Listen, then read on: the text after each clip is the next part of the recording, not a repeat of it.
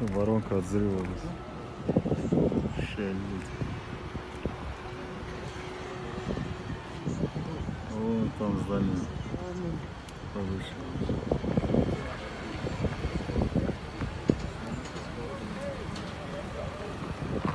Ошалеть.